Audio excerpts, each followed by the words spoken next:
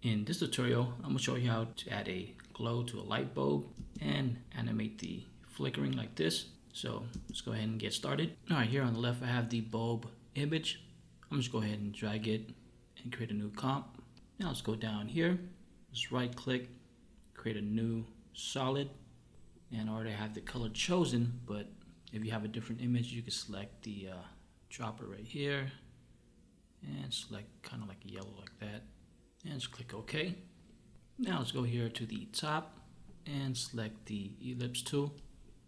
I'm just hold shift and I'm just drag it kind of like that. And I'm gonna select the uh, selection tool here. Place it on top kind of like that. Let's go down here to the mask and let's change the feather to 200. And just go ahead and make a copy. I'm going to disable this one for now.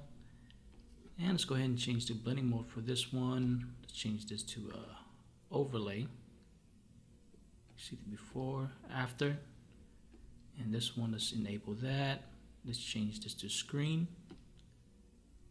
And let's lower the opacity on this. If you hit T for the shortcut, it should bring up the opacity. Let's bring it down to about 20. Let's try 30. I think 30 is good. That's before, after. Now select both of the uh, glow and just go to layer, pre-compose. And I'm just naming that glow. Make sure that's checked. Click OK. And let's go down here to the toggle and switch. And if you select this, it should have the blending mode back on. And all you have to do is hit T for the opacity, hold Alt, select this, and all you have to type in is wiggle.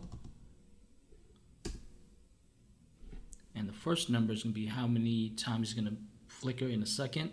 So let's try 10, comma, and the second number is going to be the opacity.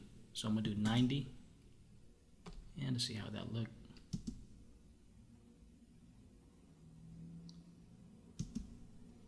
And if you want to change it, make it more intense, let's try 50, see how that look.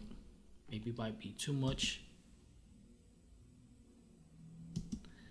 Yeah, it might be too much unless you like it like that. Change this back to 10 and let's try 50.